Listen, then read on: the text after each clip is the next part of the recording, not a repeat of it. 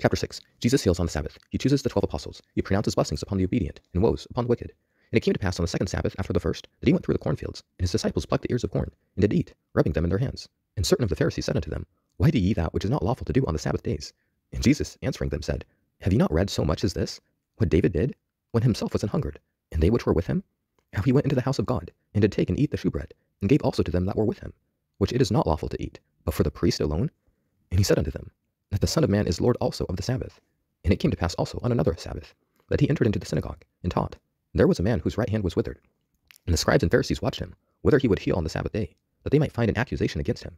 But he knew their thoughts, and said to the man which had the withered hand, Rise up, and stand forth in the midst. And he arose and, stand, and stood forth. Then said Jesus unto them, I will ask you one thing. Is it lawful on the Sabbath days to do good, or to do evil, to save life, or to destroy it? And looking round about upon them all, he said unto the man, Stretch forth thy hand. And he did so, and his hand was restored whole as the other. And they were filled with madness, and communed one with another what they might do to Jesus. And it came to pass in those days that he went out into a mountain to pray, and continued all night in prayer to God.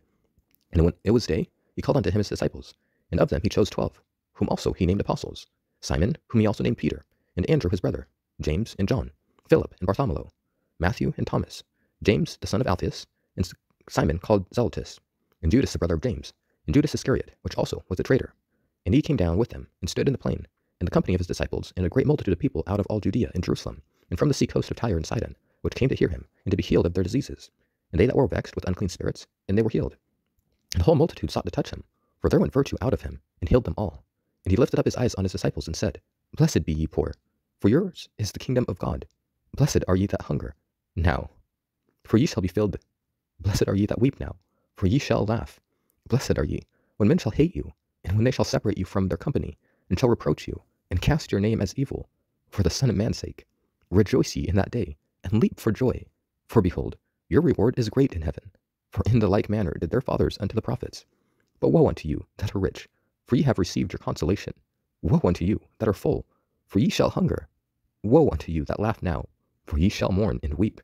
Woe unto you, when all men shall speak well of you, for so did their fathers to the false prophets. But I say unto you, which hear, love your enemies, do good to them which hate you, bless them that curse you, and pray for them which despitefully use you. And unto him that smiteth thee on one cheek, offer also the other. And him that taketh away thy cloak, forbid not to take thy coat also. Give to every man that asketh of thee, and of him that taketh away thy goods, ask them not again. And as ye would that men should do to you, do ye also to them likewise. For if ye love them which love you, what think have ye? For sinners also love those that love them. And if ye do good to them which do good to you, what think have ye? For sinners also do even the same.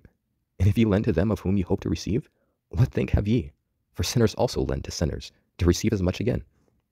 But love your enemies, and do good, and lend hoping for nothing again. And your reward shall be great, and ye shall be the children of the highest. For he is kind unto the unthankful and to the evil. Be ye therefore merciful, as your Father also is merciful. Judge not, and ye shall not be judged. Condemn not, and ye shall not be condemned.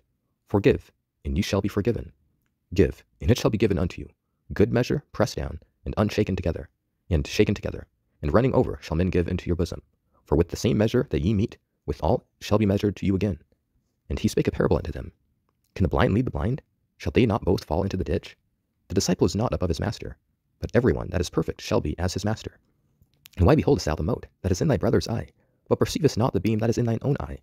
Either how canst thou say to thy brother, Brother, let me pull out the mote that is in thine eye, when thou thyself beholdest not the beam that is in thine own eye? Thou hypocrite, cast out first the beam out of thine own eye, and then shalt thou see clearly, to pull out the mote that is in thy brother's eye. For a good tree bringeth not forth corrupt fruit, neither doth a corrupt tree bring forth good fruit. For every tree is known by his own fruit.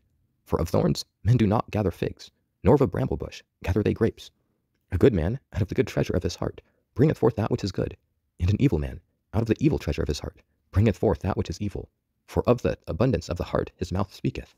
And why call ye me Lord, Lord, and do not the things which I say? Whosoever cometh to me, and heareth my sayings, and doeth them, I will shew you to whom he is like. He is like a man which built an house and digged deep, and laid the foundation on a rock. And when the flood arose, the stream beat vehemently upon that house, and could not shake it, for it was founded upon a rock. But he that heareth and doeth not is like a man that without a foundation built an house upon the earth, against which the stream did beat vehemently, and immediately it fell, and the ruin of that house was great.